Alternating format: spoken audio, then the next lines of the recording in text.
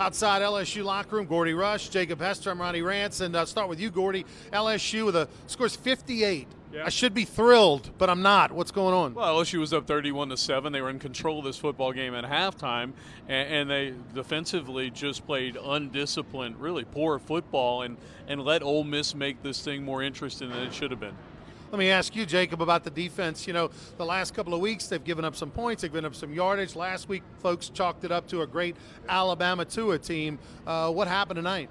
Well, throughout the season, we kind of had this crutch of LSU's rush defense being second in the SEC, and they've been playing really well against the run. Yeah, they gave up some pass yards, but now, the last two weeks, Najee Harris, you said, okay, well, he's a five star running back. We'll just throw that out to the side.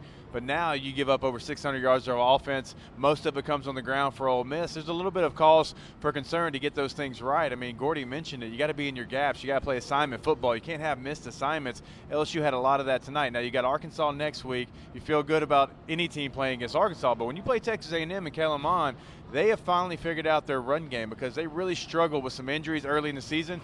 They've got a guy now. They've got a true freshman in there who's running the football at a really high clip. So now you got to get it fixed for two weeks from now. LSU offensively, Gordy, uh, record night. Uh, we saw Chase break, uh, you know, single season touchdown record for a receiver. We saw Burrow go over the single season passing yardage. Uh, the beat goes on. Yeah, the beat goes on, and look, Ole Miss was dead last in pass defense coming into this game, and they're going to continue to be dead last in pass defense. Look, offense did everything that you needed them to do.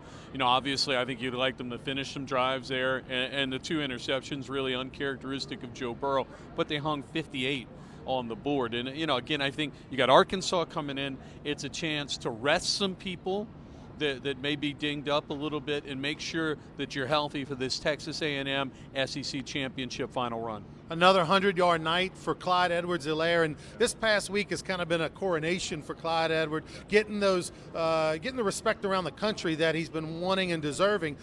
A game that, like he had, a career make game last week against Alabama, being a former running back, does that give you the confidence now? Because he looks like he's got a little different swagger. Yeah, it does because people don't do that against Alabama. And regardless of what you think of Alabama's defense, running backs don't have that kind of success. I mean, you can pull numbers from the last 12 years since Nick Saban's been there, and running backs don't have that kind of success. So when you have that success, not only that game, but Georgia last year, Auburn, Florida this year, when the best opponents come and play the Tigers, Clyde has his best game. So now he's got that confidence to know anybody he plays, he can be ready to go. He did it again tonight because a lot of times after your real big game in your career, that next one's a little bit of a letdown. He comes out here and has a bigger night tonight. I want to ask both of you before we go. Tua Tagovailoa out for the for the year. Uh, there was a lot of dis- discussion on whether he was going to start today or not. What was your takeaway? Well, uh, you know, I'm not. I'm, Nick Saban's obviously a much better coach than I ever will be. Jacob and I were talking about it. I, I was surprised that he started with this game.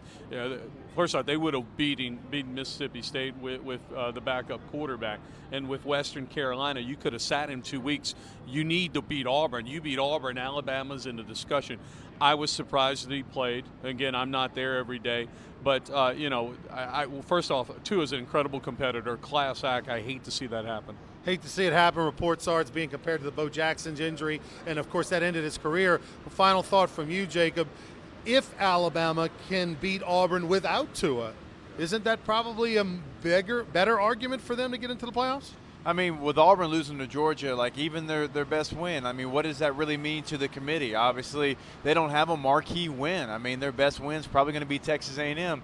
Texas A&M still has to play this LSU team and Georgia on the road. They could have two more losses on their resume, and so I don't know what Alabama can do. And they, the committee can say it or not, but having Tua Tagovailoa on that squad obviously probably gives them more confidence to put them in the playoff. And you know, with Mac Jones at quarterback, I don't know that they'll do that. So I don't know what Alabama can do without a lot of help from somebody from the outside. Big night tonight for LSU offensively. They beat the Ole Miss by 21. For Gordy Rush, Jacob Hester, I'm Ronnie Rantz. Let's go back to the studio.